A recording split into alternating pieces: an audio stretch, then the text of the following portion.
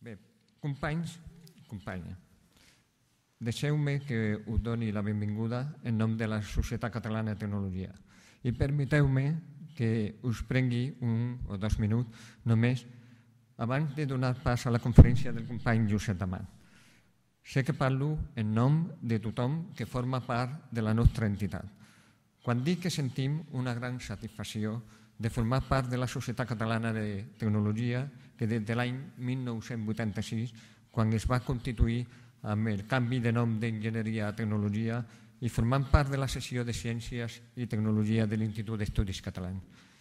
S'esforça en crear vincles entre la història de la tecnologia, el desenvolupament i la innovació tecnològica i amb les persones com representant de tot el sectament de la societat acadèmica, empresarial i en general de la ciutadania. És important mirar què hi ha darrere nostre, perquè arran de tot, de tot allò que hem fet, les persones que han lluitat pel desenvolupament tecnològic abans que nosaltres és que nosaltres vivim el nostre present, el nostre dia a dia, i és, sens dubte, la base de les propostes de futur que ens han de permetre créixer sent referent de la divulgació de la tecnologia a Catalunya i arreu. Com he dit, només un parell de minuts. Sigueu benvingudes i benvingut a aquesta societat avui i sempre. Gràcies. Ara l'Alicia eh, farà una presentació del conferenciant, tothom conec a Josep Bamà. Molt bé, bon dia. De fet, una mica ja està presentat, i d'aquí ja veiem. Uh, ell és catedràtic emèrit de l'UPC i membre de l'Institut d'Estudis Catalans, a part de moltes altres coses més.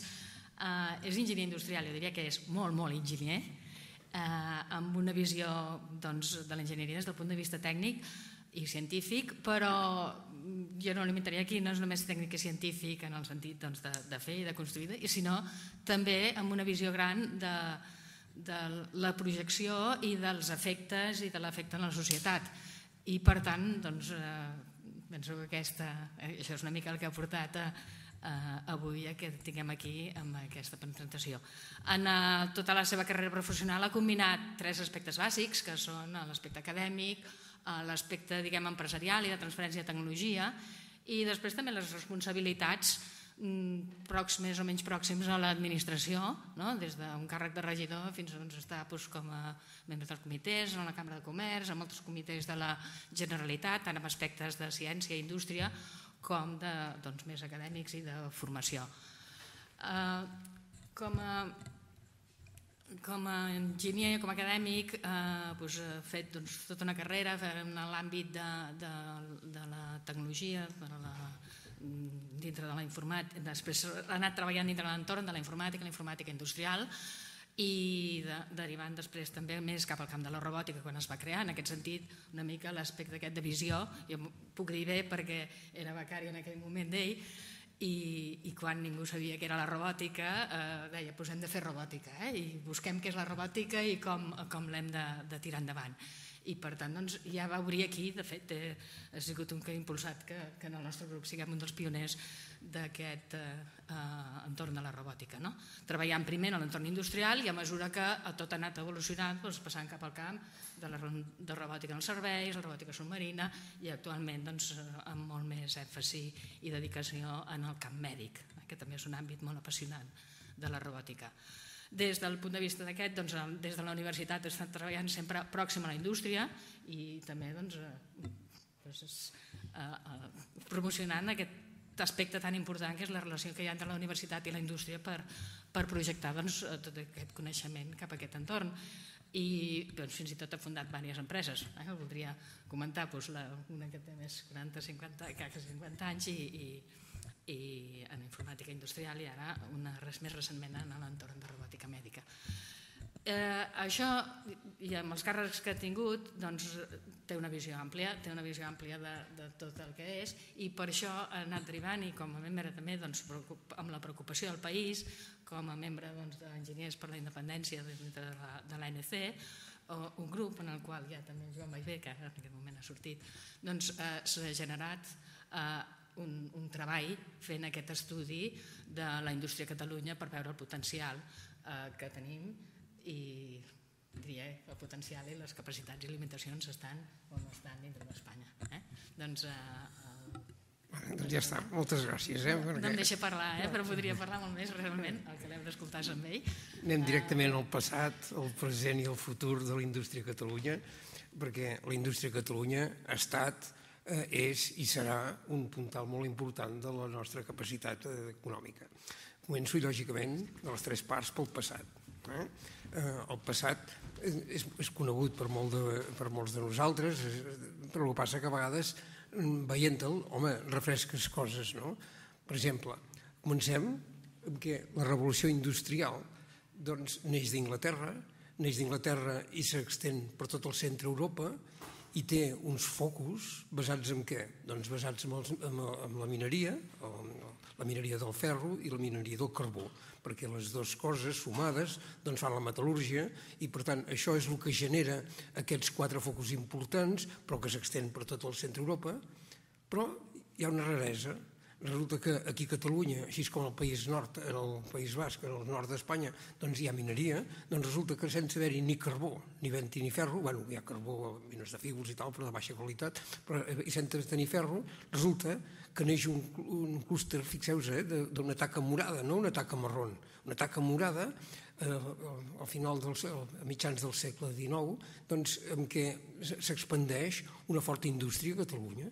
Per tant, fixeu-vos que dintre d'Europa som una raresa i aquesta raresa s'expressa amb l'expansió de la indústria, de, de la indústria tèxtil. Però no la indústria tèxtil que es, es posa en un indret o dos o tres. No, no, no, s'escampa per tot Catalunya buscant qualsevol petita quantitat d'aigua que pugui moure les màquines ja suficient perquè neixi aquesta indústria tèxtil important a Catalunya, que déu nhi si mirem la magnitud de les taques que hi ha aquí i els, i els fusos que hi ha aquí, doncs ja es veu que va ser una indústria important.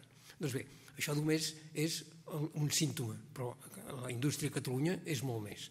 Anem a mirar una miqueta del que va ser la indústria a Catalunya, no? eh, el, el desenvolupament de la indústria. Per exemple, la indústria metal·lúrgica eh, neix ja amb, amb, amb l'inici de l'automatització, fixeu-vos això, és, eh, neix una empresa que se'n diu la maquinista, aquesta maquinista l'any 1859 ja desenvolupa aquesta màquina amb patent, això sí, amb una patent. I, i en pocs anys ja fabrica aquesta, la maquinista terrestre marítima ja fabrica les seves pròpies màquines sense basar-se en cap patent. Doncs aquest artilugi, doncs això representava a finals del segle XIX, a mitjans del segle XIX ja, eh, unes primeres màquines eh, dissenyades i fabricades a Barcelona. I amb això, eh, quasi un segle de diferència, doncs aquestes màquines van anar transformant amb això, però amb patents pròpies, dissenys pròpies. I aquestes màquines van córrer per tot Espanya, perquè l'ample de, de via només era per Espanya, no podien córrer per tota Europa, però eren màquines tan o més bones que les que corrien per tota Europa. Doncs bé, això és pel que fa a aquesta empresa tan important que va ser el maquinista que per cert mora, i per què mora la maquinista? Doncs mora la maquinista perquè en aquells temps l'Institut Nacional d'Indústria, l'INI, agafa les riendes d'aquesta empresa i creu que el millor que pot fer és vendre-la a la competència de la Ben Alstrom. És clar, s'enfonsa, com és lògic. Després, la indústria automobilística. Fixeu-vos, eh? al principi de la indústria automobilística, quan els cotxes encara eren això, ja surt aquí a Barcelona una empresa, l'Hispana Suïssa, al principi del segle XX, que ja fabrica eh, aquest model, que ja es veu que no, que és la prehistòria de l'automòbil, però en pocs anys de diferència ja, ja fan uns cotxes que són del milloret d'Europa. I això passava 20 anys més tard. I 30 anys més tard, els cotxes més bons, els Rolls que hi havia en aquella època a Europa, eren una hispana suïssa fabricat a Barcelona, eh, una, una trajectòria que qui la va troncar? En aquest cas la va troncar la Guerra Civil.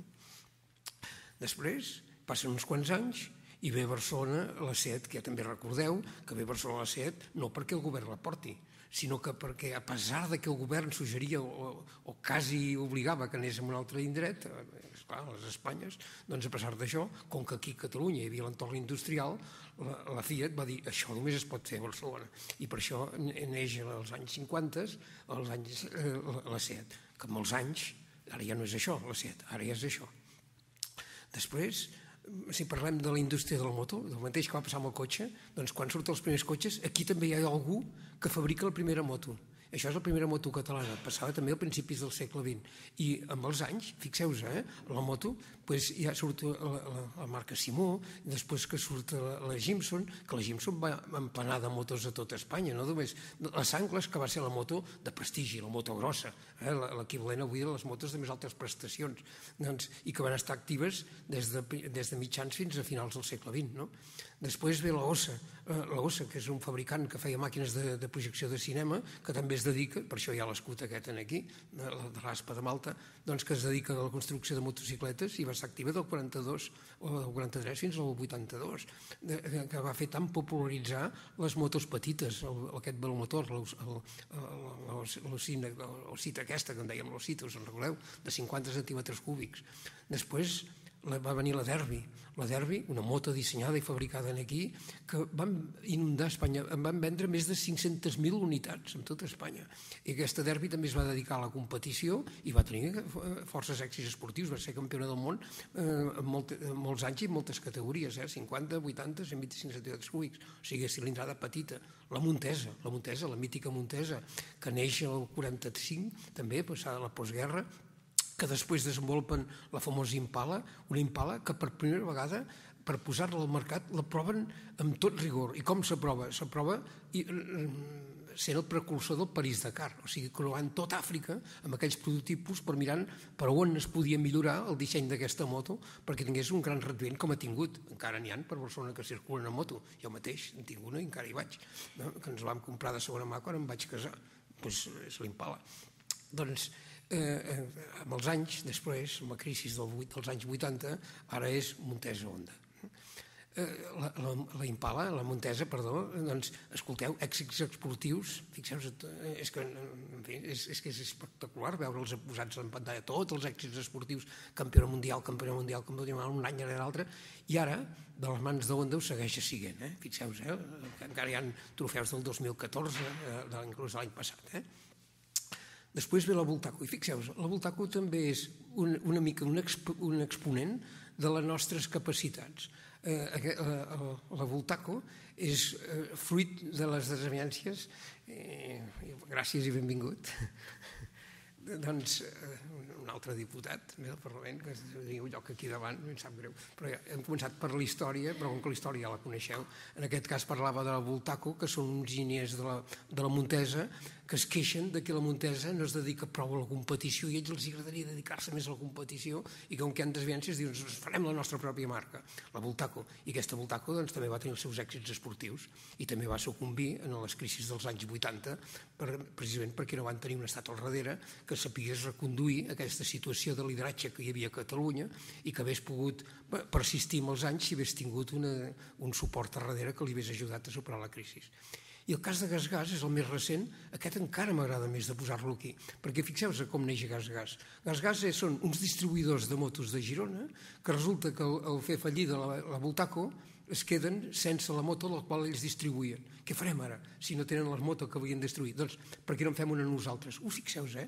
Uns distribuïdors. Uns distribuïdors decideixen dissenyar-se el seu propi moto perquè la moto que distribuïen deixen de rebre-la. I aquesta moto, doncs fixeu-vos, eh? doncs ara resulta que esdevé campiona mundial, campiona mundial, campiona mundial, campiona mundial. O sigui, s'ha convertit en una moto d'uns distribuïdors, una moto de referència a nivell mundial, campiona mundial. I ara, últimament, doncs, s'han associat amb Bossa, que Bossa ressuscita per poder lluitar conjuntament en aquest mercat internacional.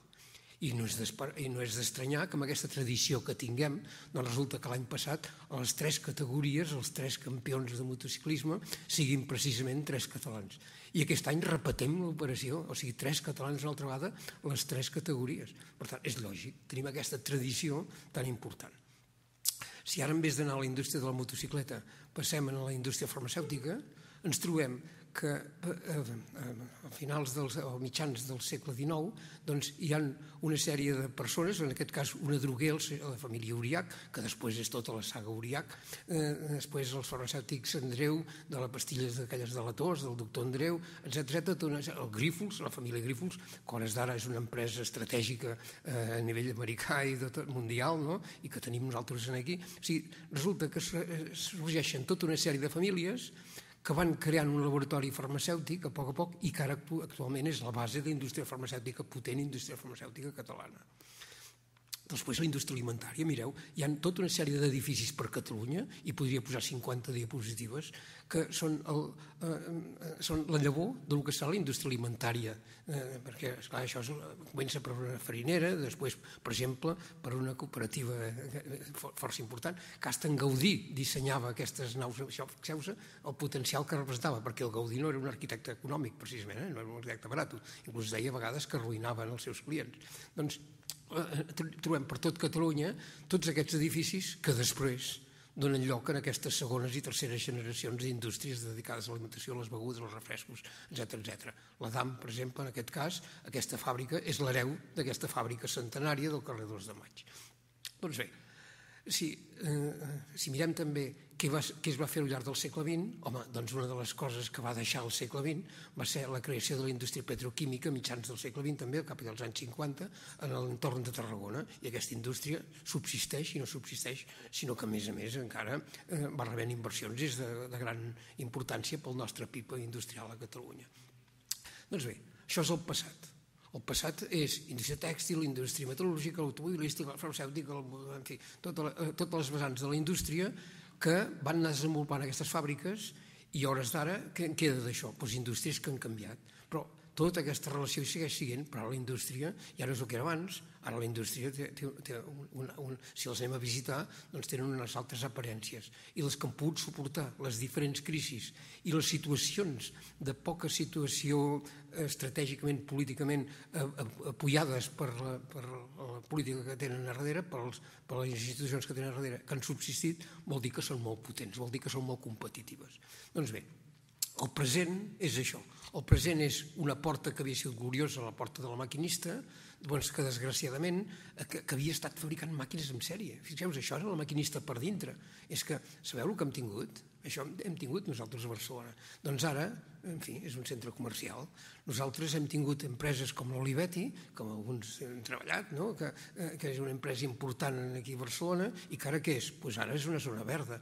O hem tingut empreses que per sort han tancat perquè han deixat unes, eh, com en aquest cas l'Uralita, Cerdanyola, que han deixat tota una sèrie de persones en una situació precària des del punt de vista de la salut i que ara no hi són, per sort, per tenen algunes que no hi són, per sort, però altres per desgràcia eh, altres doncs, que van, van ser un referent, campiones mundials, etc etc, o una món i tal, que es queixen els treballadors que els italians els han robat l'empresa, ens l'han robada però altres ja no. O sigui, el present és que altres, totes aquestes èpoques han anat desenvolupant-se i ara segueixen sent líders en el sector, segueixen líders en el sector en els seus camps, o la indústria alimentària, doncs ja no es fan aquelles fàbriques o aquelles cases, eh, aquelles naus eh, que els feia el modernisme o inclús el propi Gaudí, sinó que ara són aquestes naus mm, força importants, o la zona franca, que surten aquest, sorgeixen aquestes fàbriques de cotxes, ara no tenim l'hispano-olivetti, ai, l'hispano-suïssa, però tenim eh, doncs, la Nissan, tenim SEAT o la indústria tèxtil, la indústria tèxtil,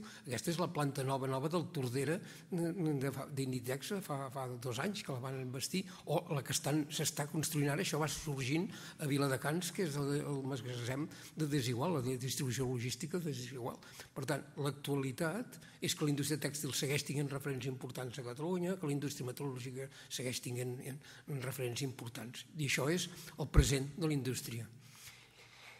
Si ara mirem la implantació a Espanya de la indústria, doncs mira, aquestes boles ho indiquen ben clarament. No, o sigui, en tot Espanya, en tot el teixit espanyol, el, el, aquelles, aquelles arribades de la revolució industrial que venen d'Inglaterra i que s'implanten en el País Basc i Barcelona, doncs home, també han anat deixant llavors en el reste d'Espanya i aquesta és el volum d'aquestes esferes ve ser per una part, eh, el blau és la inversió i l'obert és la mà d'obra. Eh, sí, el blau és la inversió i l'obert vol dir la mà d'obra ocupada a cada un dels llocs. Doncs ja es veu que Catalunya és important la indústria. Per nosaltres és important a dintre del nostre PIB, del mix del nostre PIB, és important el sector industrial. Home, en altres regions d'Espanya serà residual, però per nosaltres és molt important. I ho ha de seguir sent. Doncs bé, si ara nosaltres mirem eh, dades numèriques de, de, de, de PIB, això és el PIB eh, industrial a diferents comunitats, home, en percentatge no estem gens malament. En percentatge Això és el que ha pujat i ha baixat. Per tant, estem en regressió, mala pata, estem en plena crisi. Però tot i així, el valor que encara ens queda és un valor molt important respecte a tots els altres. Ja es veu que és la bola més grossa. Si mirem el pes, això és el pes del PIB, i això és el pes del sector industrial. Per tant, en el sector industrial nosaltres som, en quant a la xifra de negoci, el 24%, en quant al número de persones, el 21%. Aquesta diferència entre el 24% en quant al negoci i el 21% en quant al personal, això vol dir que la indústria aquí a Catalunya té més valor afegit. Si, si tinguéssim un percentatge més gran en, en persones i un percentatge més petit en, en valor, això voldria dir que el nostre valor afegit és més baix. Doncs no, vol dir que la indústria aquí té un valor afegit alt. Estem, estem en una situació, home, no està malament, tampoc podem dir que estigui molt bé, però és una situació de partida bona. Després, si mirem el PIB de Catalunya, això és tot el PIB.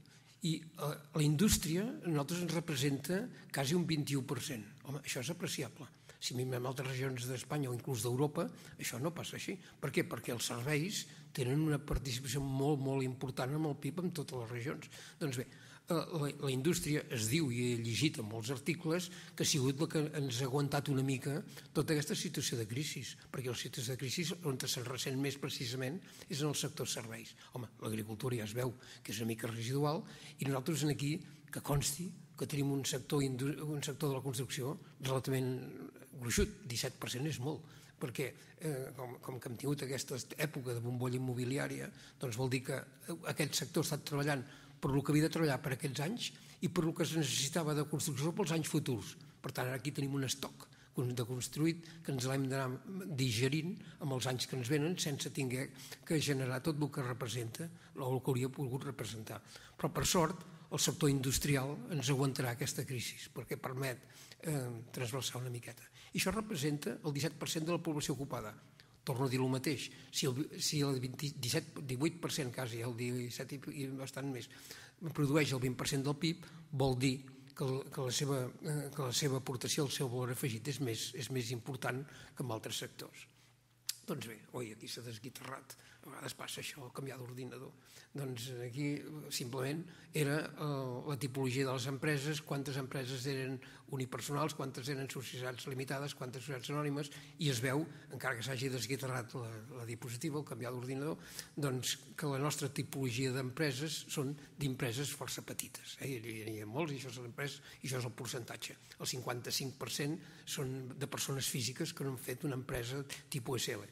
Una SL és el 24%, Societat Anònima el 13% i altres de tipus que són cooperatives i tal.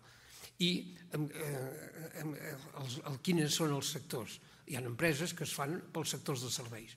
Però el sector dels serveis moltes vegades són serveis associats a la indústria, perquè aquest 20% del PIB arribat a la indústria requereix serveis que són, no, no són serveis de neteja, per entendre'ns, sinó que serveis, són serveis associats al desenvolupament industrial. Per tant, la indústria té un 20% del PIB i arrastra un percentatge del PIB del nostre entorn. I aquí és la capacitat industrial de tota Espanya i es veu la de Catalunya um, i, i les taques, les virtuts de les taques són les intensitats de les implantacions industrials. Doncs bé, si nosaltres ara mirem eh, el que passa a casa nostra, doncs el casa nostre és el 25% del total de l'estat espanyol. Home, doncs és molt més que el, que el percentatge de la població, molt més, i també més que el nostre percentatge de PIB. El percentatge de la població, si és el 16%, estem al 25%, estem molt per sobre. I si és del PIB estem al 19%, el 25% també és molt per sobre. I en quant a exportacions, és el 27% del total. Bueno, però això és bo que eh, no, el nostre client no sigui només l'estat espanyol, sinó que sigui el sector exterior, el sector de l'exportació. I això representa que nosaltres tenim unes 50.000 empreses que exporten. No està gens malament. I si ara comprem amb altres regions, per exemple, eh, si mirem la Comunitat de Madrid, eh, el sector industrial no representa el 25%, sinó el 12%, i les, eh, les exportacions, perdó, i les exportacions d'Andalusia l'11%, i si sumen 11 i 12, vol dir que les nostres exportacions, que són 27, són superiors a les de Madrid i Andalusia sumades. És, per, és simplement perquè fem una miqueta de comparativa, vol dir que per nosaltres l'exportació industrial és molt important. I si, i si mirem les indústries a Catalunya i les, eh, les, eh, les ordenem per, eh, per l'explotació, per la qüestió econòmica, l'explotació, mirem que la, la més forta no és majoritària, o sigui, no en tenim una, com per exemple l'automòbil, que sigui el 80% de la nostra capacitat productiva perquè ens ha tocat una fàbrica de cotxes. No, inclús, fixeu-vos, eh, és la producció alimentària, l'automòbil ha sortit aquí, estarà aquí baix, serà la quarta. Eh? Per tant, i les quatre primeres representen el 50%, o sigui, per poder tenir un percentatge important dins del PIB industrial no és un sector, ni dos, ni tres, sinó que necessita arribar a quatre sectors. I això és en ordre de importància econòmica. Ara, si mirem en ordre d'ocupació, qui se n'emporta l'ocupació, doncs aquesta ordenació canvia lleugerament.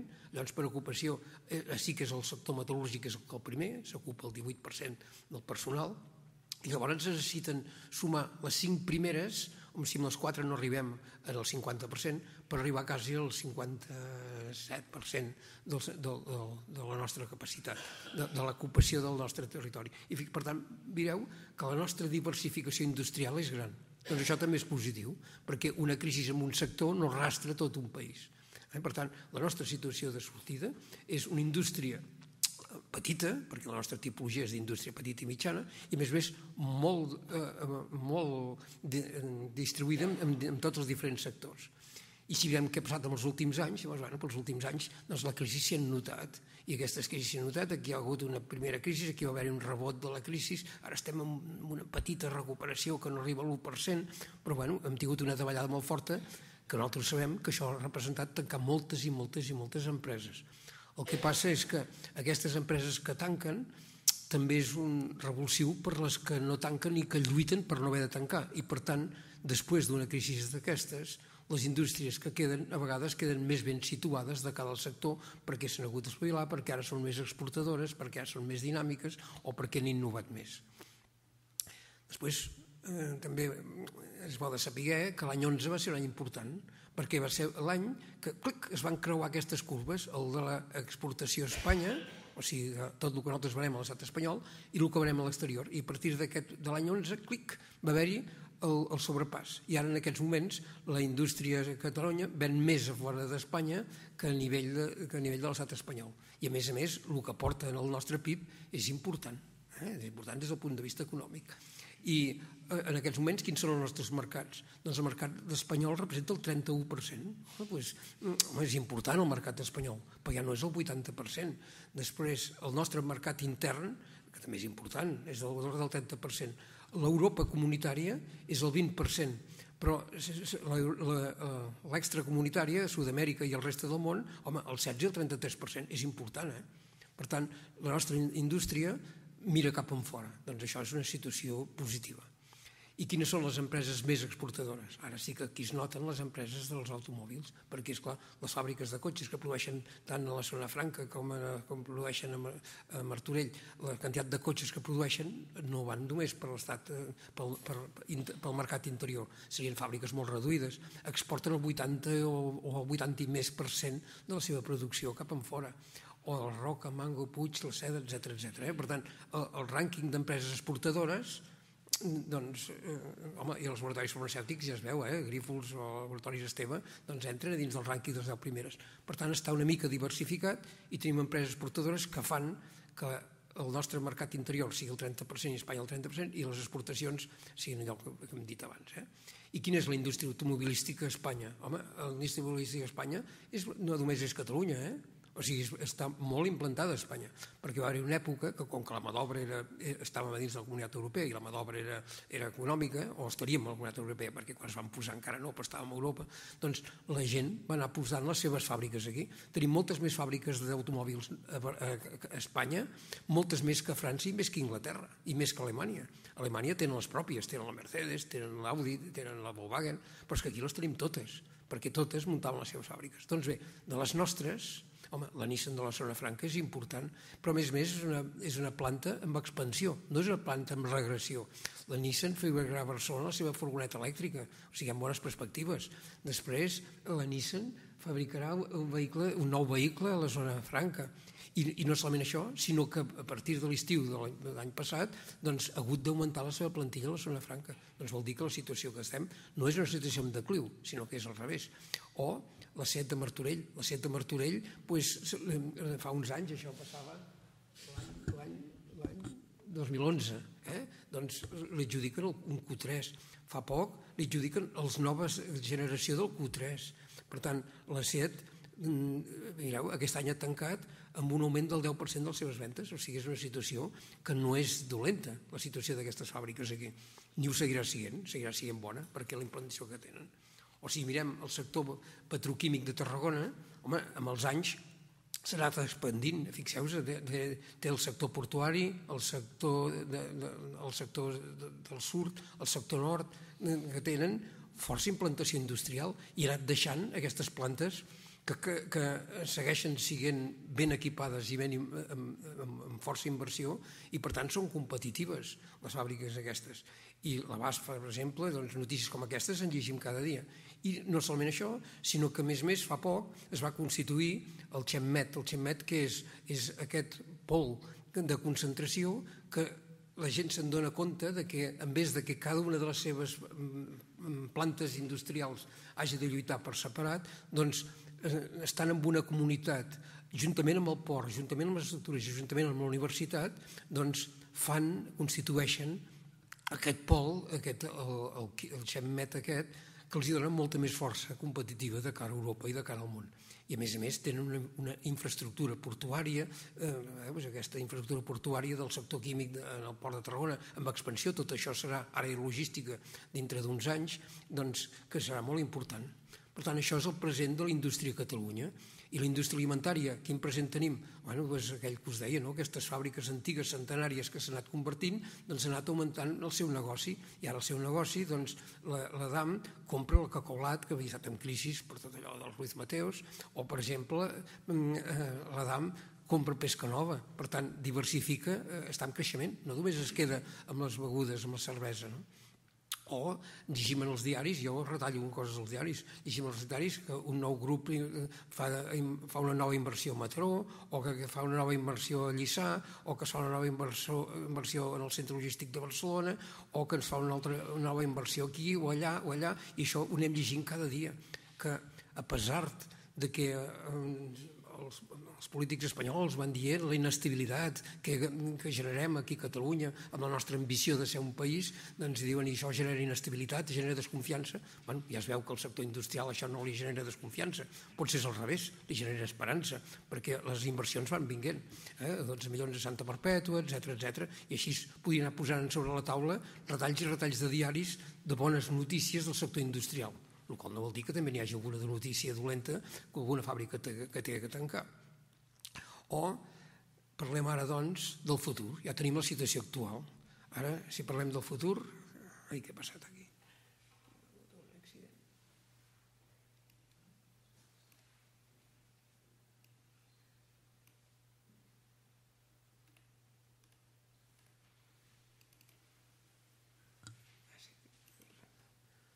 Sí, sí, ara aquí tinc el futur. bueno, doncs el futur es pot mirar des de dos punts de vista. Aquí fixeu-vos, el que fem és eh, agafar unes gràfiques de tendència del sector del, del comerç, el sector del turisme, el sector de les noves tecnologies, del TIC, el sector de la construcció, que és aquest negre d'aquí baix, o, o la indústria. Fixeu-vos, la indústria. Ha anat tot, tot i, i, els, i, les, i les inversions importants que hi ha hagut, de mitja ha anat baixant els darrers anys. Doncs bé, si ara nosaltres ens demanéssim fer una extrapolació, què, què passarà els propers anys? Doncs, lògicament, doncs, si es fa una extrapolació, sobretot si ho fem des del punt de vista matemàtic, una extrapolació d'una recta amb aquesta tendència tan clara, l'extrapolació clarament aquesta seria així. Bueno, però aquest és el sector energètic i que ara jo no sé si això ho encertaríem perquè ara precisament el sector energètic està baixant precisament els, els costos de l'energia o l'extrapolació diria que ha de ser així aquesta el turisme sabem que puja perquè tenim aquestes fotos del port de Barcelona tan espectaculars que estem batent rècords cada any, però és evident que totes i cada una d'aquestes eh, curves, el de la construcció, algú diria que ha de poder remuntar perquè no pot ser que any rere any ens estem menjant els estocs passats i no hagin de fer res més. No? Però, en principi, l'extrapolació no és optimista. L'extrapolació, fredament, mirant fredament, l'extrapolació industrial eh, doncs és això groc d'aquí, ha d'anar seguint cap, cap avall. Però això, aquesta extrapolació des del punt de vista matemàtic, és mirant simplement les corbes, sense mirar què passa pel món. I nosaltres creiem que pel món passen coses que poden influir sobre aquestes corbes. O sigui que el seu comportament serà més sociològic que no pas matemàtic. I, per exemple, què pot passar? Doncs això és les inversions en I més D a Europa. Eh? Eh, les inversions en, en, en, en recerca i desenvolupament tecnològic a Europa. Doncs bé, hi ha països que el 4% del PIB el dediquen a això, com per ser Finlàndia, Suècia, els països nòrdics. Això és la franja mitja i nosaltres estem a la franja baixa. Estem eh, per sota del 2% del PIB, que seria el desitjable eh, de, dedicat a això. Doncs bé, aquella curva eh, pessimista de cap avall cap avall és si això es manteixis tota la vida. Però això es manteixis tota la vida? El país que nosaltres desitgem viure no és aquest. Nosaltres desitgem viure un país com, com els nòrdics, això és, és, és Espanya, eh? semblants als nòrdics, que semblants, no, ja no dic arribar al 4%, però si passem bruscament al 3%, escoltem, ara sí que les coses no seran tan pessimistament mm, continuistes com fins ara. O, per exemple, eh, això llegeix el retallo dels diaris, no? Espanya ofega la ciència. Ui, tant que ens l'ofega. O sigui, jo ho veig a les meves pròpies cares. El nostre grup de recerca és que persona que es jubila, en el meu cas, persona que la plaça no queda, no, no queda suplida per una nova, una nova contractació d'un nou professor. O sigui, es van consumint les plantilles, els ajuts que tenim estatals es van, no es divideixen, no, no es redueixen en valor econòmic, sinó el que fan és anar, anar separant, separant, separant les convocatòries, de forma que el diner que abans venia en cada any, ara venen en dos o tres anys. O sigui, van expandint, amb el qual vol dir que han ratllat per tres, en el fons, no? les inversions. Per tant, en aquests moments Espanya ofega la ciència. Es pot dir, oh, és que no estem moments d'alegries. D'acord, potser podem dir que estem moments d'alegries, però pot ser un plan zapatero de fer voreres i totes les voreres noves, encara que, que, que no donen valor afegit a la nostra ciutat, potser els haguéssim pogut eh, dedicar, com van fer el País Basc, amb altres, amb altres, eh, amb altres finalitats mm, més lucratives per a la societat. No? O, per exemple, nosaltres patim això. Tenim aquesta, eh, aquest, això estrangula la nostra economia, aquestes cues als peatges, que si mirem, això no passa tot arreu. Eh? La part vermella són els peatges que hi ha a Catalunya, la part vermella són els peatges que hi ha a Espanya, i aquí són els peatges que hi ha a Madrid. O sigui, la situació no és equitativa, no és homogènia. Doncs això, això estrangula la nostra economia també. Eh? Per tant, eh, bueno, i contínuament la CECOT, la CECOT és gent sospitosa de sedició, eh? gens. Doncs també denuncia l'estratègia energètica del govern espanyol o la indústria química vol eh, que, que l'alliberin d'unes cargues perquè és que les químiques vaporeres clamen contra el cost de l'energia, el més alt d'Europa. I és clar, això els fa poc competitives quan, quan es fa el clúster aquest de les empreses químiques a Tarragona i ve el ministre, el que li demanen és que sobretot que, que, que l'alliberin del preu de l'energia que en aquests moments estem pagant aquests cànons i aquests peatges, no? O el govern fa aquesta, totes aquestes normatives contra les, eh, les energies renovables i moltes empreses que han fet grans inversions en el sector de, de, de, de captar-se energia i produir-se energia, resulta que són castigades, no? O el govern decideix mantenir el principi de energètic, etc etc. No? Per tant, eh, eh l'estrangulament del cudó mediterrani, tot això fa que s'entén que la nostra economia doncs, eh, estigui en decliu, que segurament és un decliu, jo crec, que estudiat i planificat. Eh, I hi ha notícies al diari, notícies esperançadores, que és el govern, eh, el govern de la Generalitat, ara destina 3 milions a impulsar empreses nascudes a la universitat. Escolteu, això és notícia, doncs no hauria de ser-ho, això hauria de ser el normal. I és més, hauria de ser el normal, però no amb 3 milions, amb 30. Perquè amb quantes empreses poden impulsar amb 3 milions? Ben poquetes poden impulsar amb 3 milions, eh, que es veu. Per tant, és molt bona voluntat, eh, degut a que què? Home, degut a que la nostra, els nostres recursos venen planificats de fora, no els planifiquem nosaltres, sinó que el que es pot retallar i fer quatre engrunes, que a més a més allò ens diuen que si que traiem d'aquí, traiem d'allà, són les famoses retallades, resulta que no es pot fer una política industrial perquè si fem política industrial resulta que estem retallant i a Tarragona tenim eh, personal sanitari tancat a l'hospital perquè la, no, no s'obre una nova central d'hemodiàlisi o d'hemodinàmica, etc etc. no?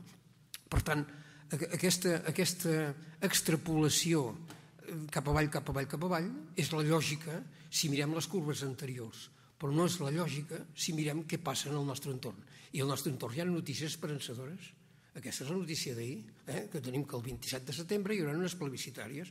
Doncs, si el poble ho vol, si aquestes plebiscitàries surten tal com jo espero que hagin de sortir, doncs la situació canviarà.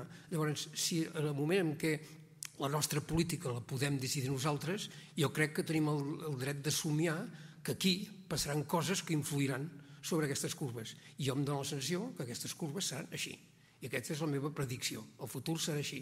I serà així no perquè jo sigui tan optimista, que a més a més fins ara la vida jo he sigut molt optimista, però és que la vida mai m'ha desmentit, per ara, he tingut sort, per ara m'ha desmentit. Doncs bé, si, si som tan optimistes, jo crec que no podem ser suïcides i hem de dir que tenim unes bases, unes bases que tenim tradició industrial. I per això m'he extès una miqueta amb el passat, perquè el passat ha deixat una cosa, encara que hagi hagut crisis, ha deixat la tradició, ha deixat el coneixement, ha deixat l'experiència i ha deixat la manera de ser. Després tenim tècnics qualificats. Tenim la sort que les nostres universitats produeixen tècnics prou qualificats, però tenim la desgràcia que en produeixen pocs. Necessitem molts més. Després tenim infraestructures, o sigui, estem ofegats, estem estrangulats, però tenim infraestructures. I les que tenim, doncs, amb, amb una miqueta més, es poden millorar. Doncs la tradició, la tradició ja m'he referit abans és, és sota aquests números que he dit aquí, que ara surten millor. Eh? Per tant, aquí tenim eh, personal, personal dedicat a la indústria. Tenim allò que us deia abans dels sectors. Tenim tècnics qualificats. Escolteu, mireu, tècnics qualificats. Les quatre català... Hi ha quatre universitats catalanes entre les 100 millors universitats joves del món. Home, aquest rànquing que ha sortit fa poc, eh, de les 100 millors universitats joves del món, que són aquelles de menys de 25 anys, em sembla que són, o, 25 anys, o, eh? 50, de menys de 50 anys. Doncs, home, que dins del rànquing d'universitats de menys de 50 anys n'hi hagin una, dues, tres, quatre de catalanes i sis espanyoles, home, el rànquing no és gens dolent. Què vol dir? Que les nostres universitats són bones. Eh? I la prova és que quan nosaltres enviem becaris als, als, als laboratoris a fora, la, la feina que tenim és que es tornin, perquè les ofertes que els hi fan són molt bones. Doncs infraestructures. Home, infraestructures, això són portades del diari eh, és, les infraestructures és un túnel negre i sempre els diaris ens van retraient els enormes dèficits en infraestructures que té el nostre país i el rei inaugura la terminal dels ports però sense que hi hagi encara eh, l'enllaç ferroviari del port amb, amb, amb l'amplada europea. Imagineu-vos, 18 quilòmetres, 18, estem parlant de 18 quilòmetres que any rere any, any rere any s'està eh, eh enredarint perquè hi ha prioritat doncs, del pont de Badajoz o el pont de, de, de, de, de l'AVE que va a Extremadura, que passa pels dos ponts, que per cert són els rècords del pont d'ull de, de, de llum més ample de, de, del món, en tinc entès, no? dels dos, el del Tajo i el del Duero.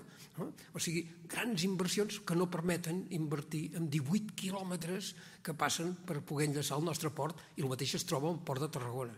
Per tant, el nostre port té enormes capacitats, però en canvi té enormes limitacions perquè els, eh, els xinesos, Hutchinson, fa grans inversions en el port de contenidors i es troben greus dificultats per treure els contenidors eh, amb l'ample europeu i tenim moltes possibilitats al nostre port. O sigui, el fet d'haver desviat el Llobregat, que van sortir per aquí, a sortir cap aquí i, i ha incorporat tot aquest triangle en la zona portuària, doncs bé, tot això és un espai logístic molt important. Doncs fixeu-vos, encara s'ha de doblar tota aquesta part grisa d'aquí està en desenvolupament. Bueno, doncs està en desenvolupament, amb contagotes i amb, i amb el fre de mà posat, doncs al moment que no hi hagi el fre de mà posat, això es paga per si sol. O sigui, això es paga per si sol. Eh? No, no, és una voluntat política, no és una qüestió de que no hi ha recursos. Sí, sí, això es paga. Eh? I tenim esperances, perquè aquest sector és compatible amb l'altre. eh? perquè són indústries diferents. Una cosa és la indústria i l'altra cosa és la indústria turística. I aquest sector, que, que no hi ha qui el pari, és perillós de dir, perquè es pot parar també, eh? a 600 km de distància, es pot frenar molt també.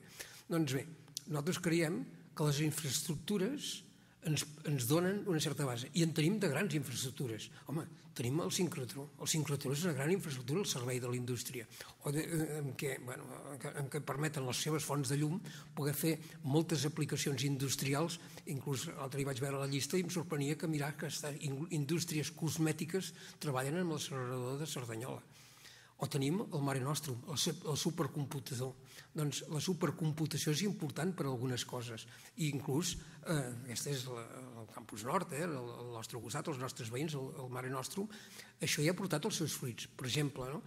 la base de dades de, del genoma humà estava a Londres i van considerar que era una imprudència tenir concentrat tant de coneixement en un únic supercomputador i van decidir compartir Europa amb dos supercomputadors Quin va ser el segon? El Mare Nostrum. Eh? Barcelona, capital del genoma. Doncs bé, tenim eh, eh laboratoris de, de, de resonància magnètica, tenim laboratoris del Centre Nacional de Microelectrònica. Per què? Perquè tenim personal especialitzat en microelectrònica, la sala blanca, per produir els xips i els, i els, i els microcomponents. Tenim el Centre de, de Nous Materials de la UPC, del CDSIC, perdoneu, que, en fi, el grafè i totes aquestes aplicacions dels nous materials. Tenim els parcs tecnològics no de Barcelona, sinó també escampats per Girona o per altres parts de, del nostre territori. Per tant, tenim infraestructures, tenim tècnics qualificats, tenim tradició industrial, però encara tenim una altra cosa, que sumat amb això millora les coses, que és que tenim emprit emprenedor.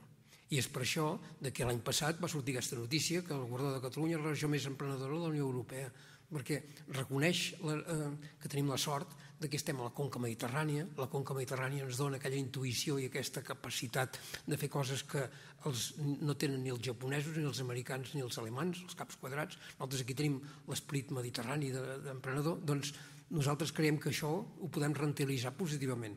I és per això que quan jo dic que sóc tan optimista, jo crec que hi ha les bases per poder-ho ser. I com que hi ha les bases per poder-ho ser i tenim la possibilitat de que el 27 de setembre les coses puguin canviar, jo crec que el futur de la indústria de Catalunya serà un futur molt més brillant si les situacions canvien com a mi m'agradaria que canviessin. Eh? Ho deixo aquí.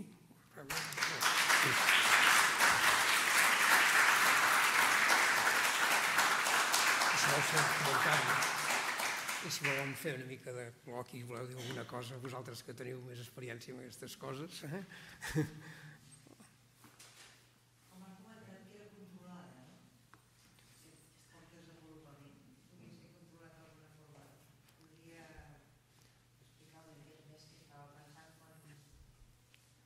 Sí.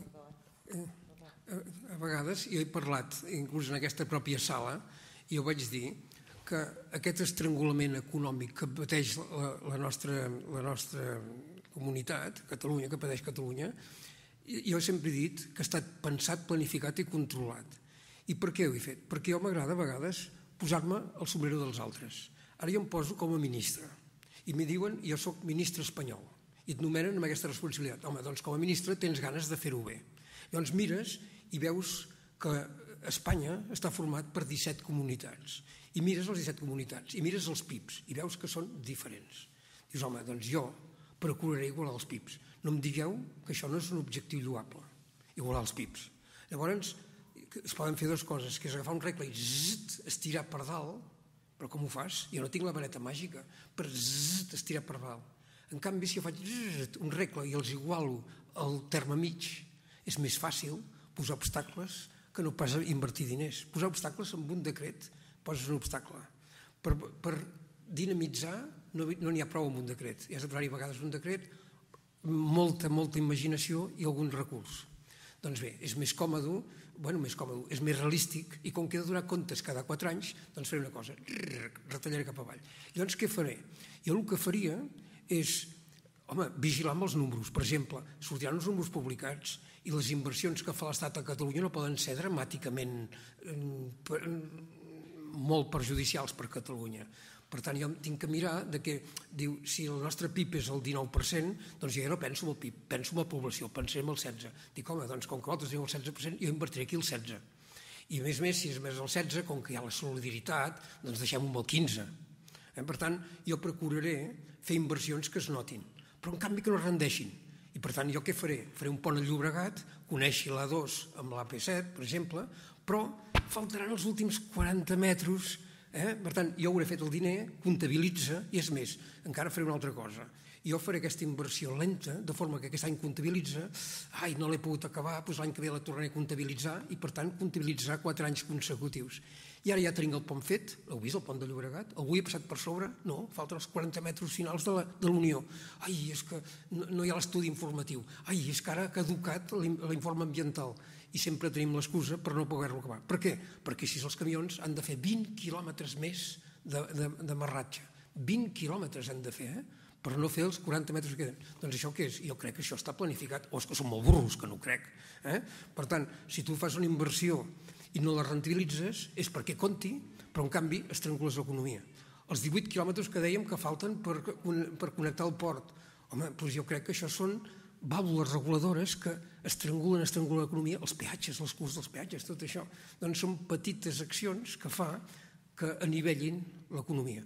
Us logra? Pues sí, es logra. Si ara nosaltres mirem el rànquing que estàvem fa, fa 10 anys i el que estem ara, doncs ja s'ha nivellat una miqueta a Espanya. Doncs ja està, com a ministre jo he anat complint.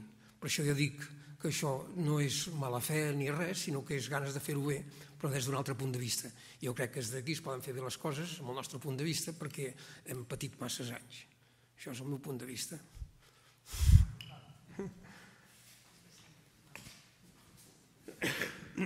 Sí, primer que tot, eh, gràcies Josep per aquesta injecció d'optimisme i de confiança en el país. Eh, sense això no farem res, per tant, com que el que volem fer és molt gran, s'ha de partir sempre d'aquest optimisme. Jo crec que en el futur d'una Catalunya independent, pel que fa a l'aspecte industrial, hi ha tres coses que les has anomenat, que hi guanyarem ja d'entrada.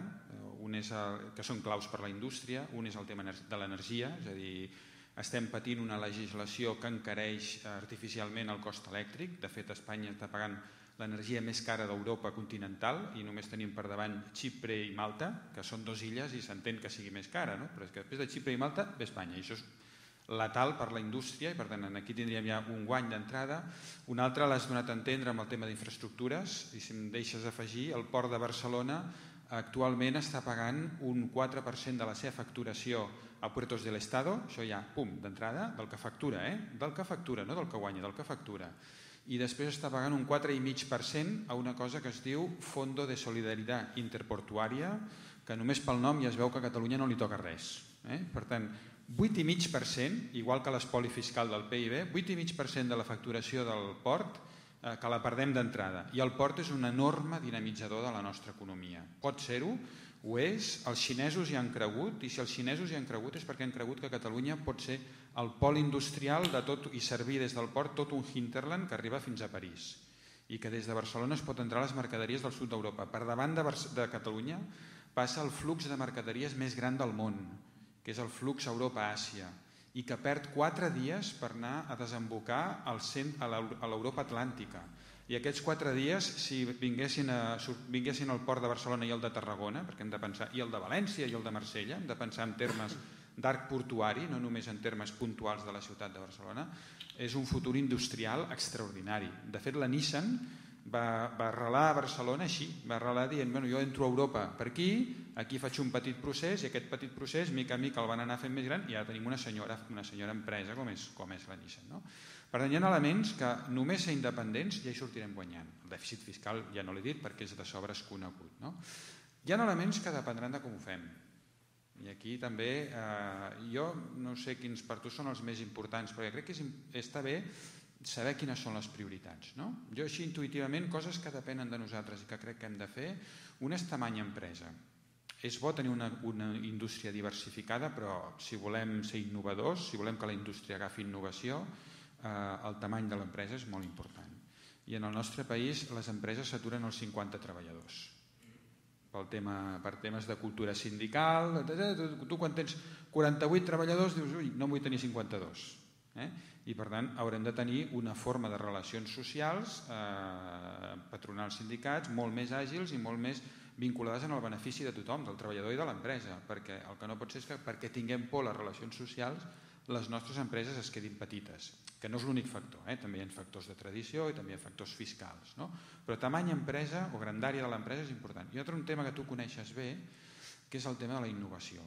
O sigui, a Catalunya gastem, invertim 900 milions en, en, en recerca bàsica, que està molt bé, i tot i que sempre voldríem més, i només gastem 50 milions en recerca d'innovació.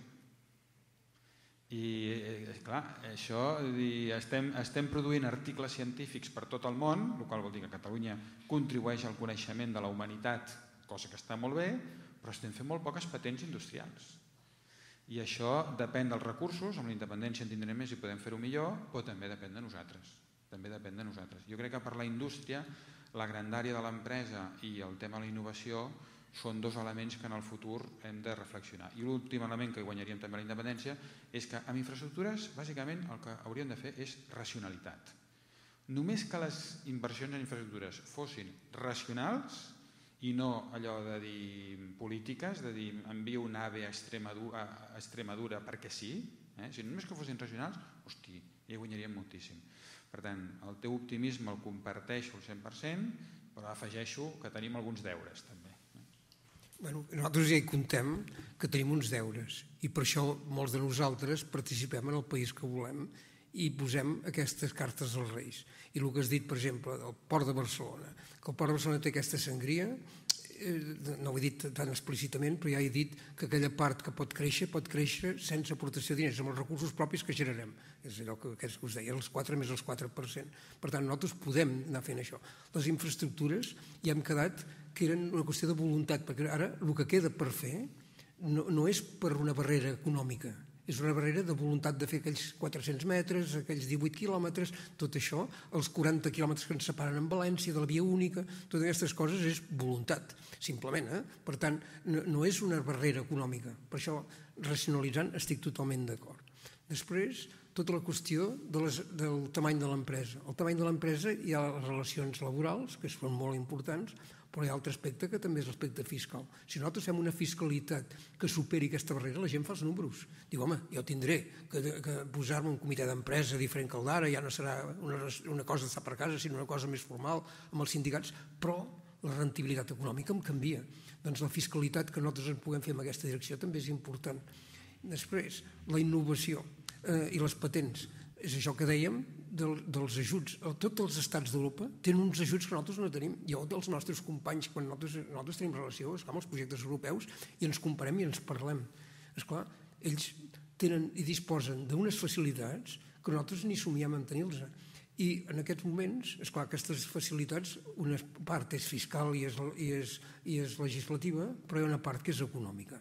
Doncs bé, en aquests moments, jo ja sé que quan el Mascollell, el pobre conseller, fa una mica d'equilibris de treure recursos i posar-los cap aquí, a Madrid dedueixen que encara ens poden collar més, perquè ells tenen una obsessió L'obsessió és que no facis res de l'opautat, que no facis res més de l'opautat, i si encara tens TV3 i encara tens el que ells en diuen les ambaixades, vol dir que et sobren els diners i per tant l'any que ve te'ls reduiré fins a que hagis de tancar TV3 i hagis de tancar les ambaixades. I això és una realitat. Vist des de Madrid, això es consideren diners llançats. Vol dir que ens en sobren. Doncs clar, si no hem d'anar amb aquests peus de plom de vigilar, d'amagar d'aquestes partides perquè ens donem això d'amagatotis i ara 3 milions per això, i són bastants més recursos, això té un efecte multiplicador tan important i després, esclar, amb les cartes reis que fem, també hem de mirar les, les nostres universitats. Què passa que les noies no ens volen estudiar eh, les tecnologies? I això és, un, és, és una llàstima, perquè que no vulguin estudiar les noies vol dir que renunciem al 50% del nostre potencial. I a vegades, ja ho dic, dic eh, és que les, les poquíssimes noies que venen, i l'Alicia és un exemple, a nosaltres ens van a la mar de bé, perquè són més meticuloses, més treballadores, inclús també, m'agradaria dir-ho, eh? però a vegades m'enfaden els xicots.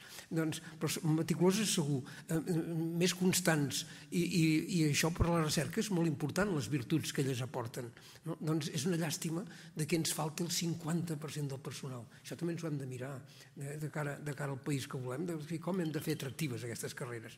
I el que passa és que també hem de revisar el, el sector universitari. El sector universitari ha fet un canvi important, ha passat del sistema convencional al sistema de Bolònia, hem passat de les llicenciatures clàssiques a les noves llicenciatures i als màsters, i abans a Catalunya la joventut, quan acabava els seus estudis, havia de, de decidir-se entre què seràs tu, enginyer de telecomunicacions, enginyer industrial, enginyer de camins, canals i ports, eh, eh quatre o cinc enginyer aeronàutic, eh, pocs que es veien, i ara què? No, ara ha canviat. Ara han de triar entre 140 titulacions, quasi idèntiques, o sigui, tantes diferències.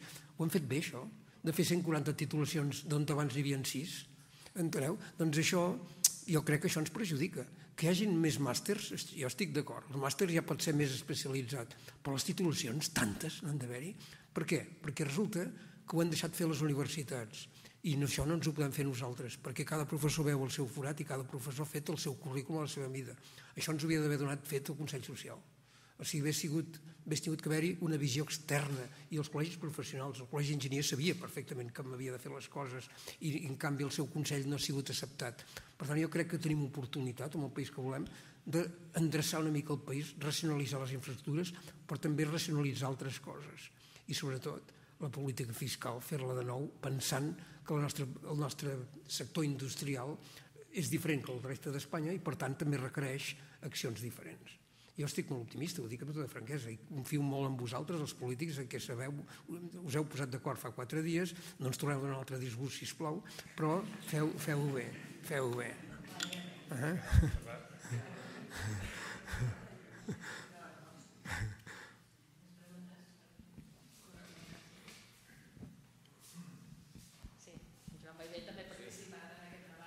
No, només volia fer un comentari d'un tema que has comentat, Josep, que la conferència tan magnífica, el tema aquell d'algunes discrepàncies entre les empreses, eh, sobretot empreses familiars, a vegades que no han tingut la deguda continuïtat. Eh, això ha estat un defecte nostre, evidentment. Eh, però no totes ha passat això. Ahir vam tenir una conferència al Col·legi d'Enginyers d'en Javier Torra, que ha estat durant 20 anys eh, director general de Simon. Simon és una multinacional de material elèctric que va començar durant la Primera Guerra Mundial, un senyor d'Olot que va començar a fer portalampres perquè no se'n podien importar. No? Eh, esclar, ell va tenir dos fills, després van haver-hi cinc o sis persones, o sis o set a la tercera generació, i van decidir això no va. Eh? Això no pot anar. Per tant, anem a fer uns principis de com transformem aquesta empresa familiar en una empresa que pugui funcionar i que pugui esdevenir una multinacional. I van signar un document que repeteixo perquè és molt breu i només amb tres punts Diu, primer punt, diu, busquem un director professional per l'empresa, que no cal que sigui del un director professional per l'empresa. Segon punt, els membres de la família són tots intel·ligents, tenen estudis, carrera, que es guanyin la vida on vulguin, però l'empresa no. I tercer principi, tot allò que sigui bo per l'empresa serà bo per la família, però la recíproca no té per què ser així. I aquest és el que ha permès doncs, que Simon és una empresa doncs, que avui és una multinacional exemplar tant de bo això arribi a moltes empreses familiars catalanes que sàpiguen trobar el desllorigador per poder esdevenir unes empreses competitives, eh, innovadores i que puguin tenir èxit en el mercat eh, aprofitant doncs, l'esforç que han fet els fundadors, però sabent-se transformar en el que ha de ser una societat moderna. Només oh, aquesta. Estic d'acord totalment.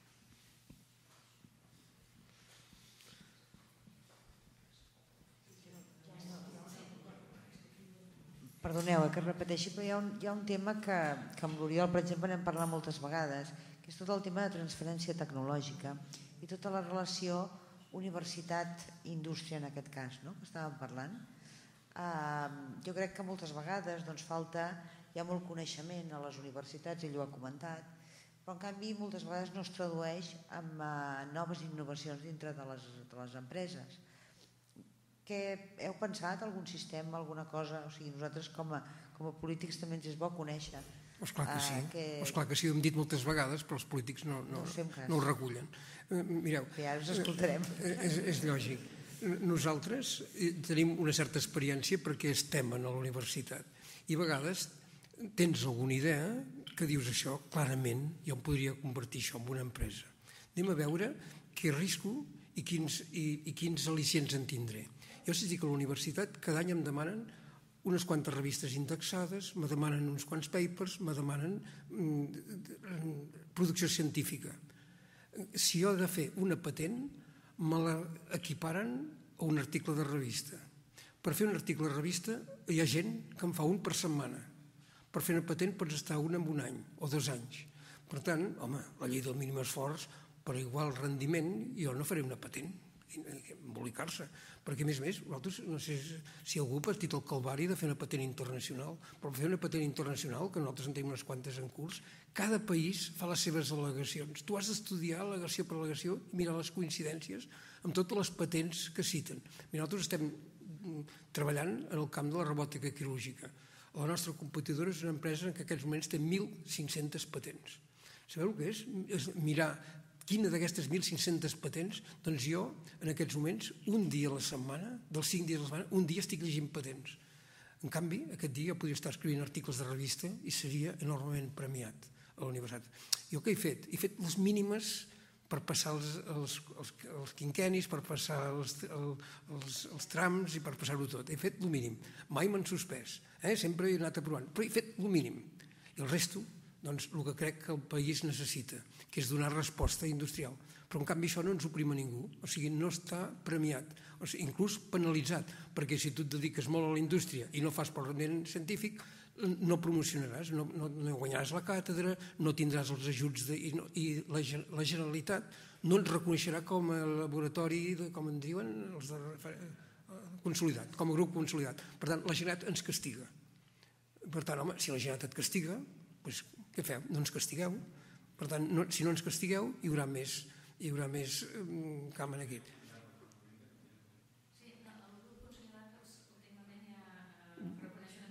Una mica, una mica. Sí. I després, i després què passaria si a les empreses els hi desgravessin o els hi fessin alguna cosa, que hi hagués alguna ajuda fiscal, perquè cada vegada que venen a la universitat a fer una consulta tinguessin un prèmit perquè les empreses estan encantades de la universitat, perquè fixeu-vos, la universitat no és, no, no és amb ànim de lucre. Quan cobrem nosaltres per una consulta? Un preu polític no es pot regalar, una consulta. Però si haguessis de cobrar el que realment ha volgut solucionar-los un problema, escolteu, seria un preu que no vindria ningú. Per tant, la universitat cobra uns preus polítics i hem de vigilar de que no siguem criticats per fer la competència social a les enginyeries. Eh? Per tant, si una cosa és facileta per entendre'ns, i home, això ho pot resoldre tal i tal empresa, no? no podem eh, que vinguin per la porta falsa i estalviar-se uns dinerets. Per tant, si realment venen amb problemes gruixuts, que dius, home, aquí una altra empresa no ho farà, anem a nosaltres a dedicar-nos amb això. Nosaltres podem permetre'ns el luxe de dedicar-hi un mes d'estudi i cobrar-los una setmana. Eh, per tant, això, això podem fer-ho però ara imagineu-vos que l'administració la, primés a les empreses que segueixen aquest camí que van cap a la universitat i que a més a més ho promocionés. Jo crec que les coses canviarien. Hi ha moltes possibilitats de fer coses. És ganes del país que volem mm, posar-se a l'agenda en prioritat aquestes coses. I jo crec que serà una bona oportunitat fer un país nou, perquè es replantegen coses noves, que consti que coses d'aquestes s'haguessin pogut fer ara perquè l'Estat no, bueno, sí que ho proveeix bastant. Per exemple, una de les coses que critico és que a la universitat totes les places siguin de funcionari. I llavors el Mas Collell, això, ja ho saps que ho té entre seia i seia, de posar el Serra Unter, de posar... Sí, I quin percentatge representa això? Quin? quin un 4%? Ah, en 50 de les jubilacions. Doncs pues bé. Això a la nostra universitat també? No. A la nostra no, eh? El nostre no, eh? A la nostra unitat això no, seria fantàstic que fos el 50%. Si nosaltres se'n jubilen tres, tres que no es cobreixen. En aquests moments és així, no? Al nostre departament, zero, eh? Zero, eh? Al nostre departament hem jubilat sis catedràtics i n'ha entrat zero.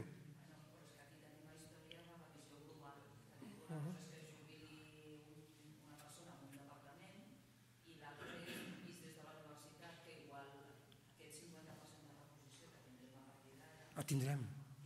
Vale, vale, vale. Tindrem.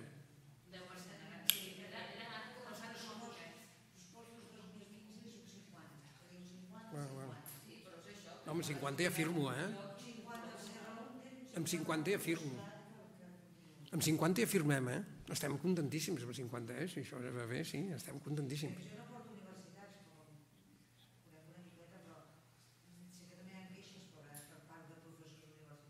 Home, esclar, però no, és que s'han d'escoltar les queixes de la gent que pensa per si mateixa.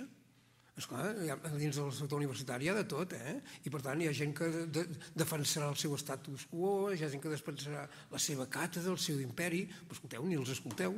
Mireu el que necessita el país, no mireu el que necessita uns quants professors, per molt que cridin. No? Ah, sí. Mira, aquí que hi ha un de professor també.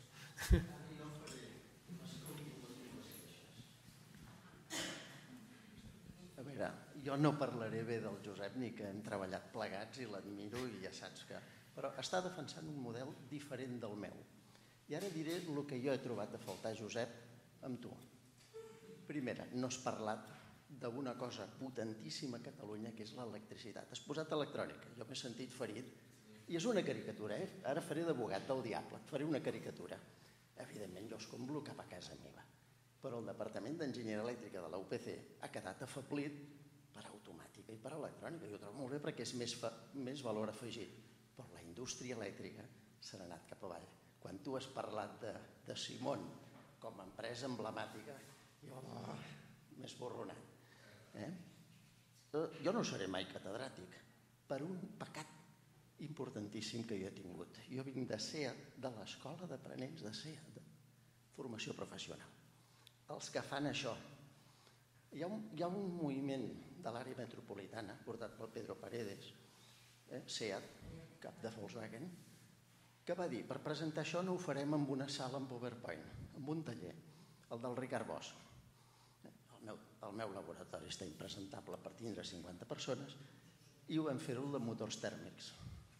Bé, això us estic explicant una pel·lículeta que no, no ve al cas, però ja que heu parlat del port de Barcelona, us diré que les, no sé si sou conscients de que l'escola tècnica més antiga d'Espanya és la Facultat de Nàutica, els maniquistes navals són 100 anys més antics que els terrestres, els enginyers industrials, i sóc enginyer industrial. I tenim una oportunitat d'or per explotar.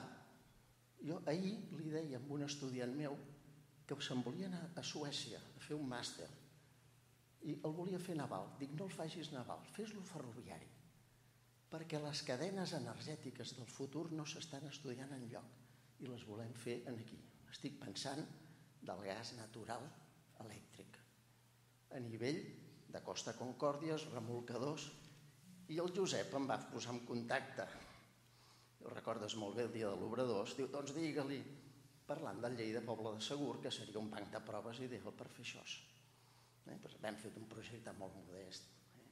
Però dius, hi ha molta cosa a fer, però escolteu-se, no menyspreeu a les cooperatives, eh? no són menyspreables. Eh? Tu has dit, va, també m'ha ferit. Revés, he dit que està bé. Eh? Existeixen, no, no, però eh, el món cooperatiu és un potencial també a casa nostra, només al País Basc. Jo quan vaig a les tesis a Mondragón, a veure, és l'únic lloc on encara es fan màquines elèctrics i poden fer una cadena propulsora sencera. Eh, diu, jo em vaig dir, oh, que envidia us tenga, però en Catalunya lo hemos perdido. I érem millors que vosaltres. Era una indústria molt més vulnerable, de menys valor afegit, i, bueno, i plego, perquè ja... Però una mica jo reivindico, tingueu en compte l'electricitat, que va lligada a l'energia, les microxarxes, a aquests nous sistemes de generació. I els barcos han sigut sempre els, els bancs de proves. Des de que el Quixot es barallava amb els molins, que eren la tecnologia dels, dels velers de l'època. El vapor es va posar a punt al mar i quan va funcionar va moure els talers, el nuclear els militars, la pila de combustible, el dièsel i tot això. Demano disculpes, eh? no he sigut exhaustiu ja, ja, i també m'he deixat, a més més d'electricitat, també m'he deixat el món dels microsatèl·lits eh? i m'he deixat el món aeronàutic, que, que sé de fer els potent, i m'he deixat altres sectors i demano disculpes a tots els que m'he deixat, el, no, no, els, els, nan, els nanomaterials, etc. etc. Per, perdona la paròdia, eh? perdona no, una mica, allò ha sigut una mica per treure. Gràcies. Disculpes. Bueno. Doncs, molt bon cap de setmana a tots. Bé, eh, en nom de la Societat Catalana de Tecnologia, de la sessió de Ciència i Tecnologia, de l'Institut d'Estudis Catalans, moltes gràcies per la vostra presència, moltes gràcies al doctor Amat per la seva magnífica exposició i aquí teniu casa vostra quan vulgueu. Moltes gràcies.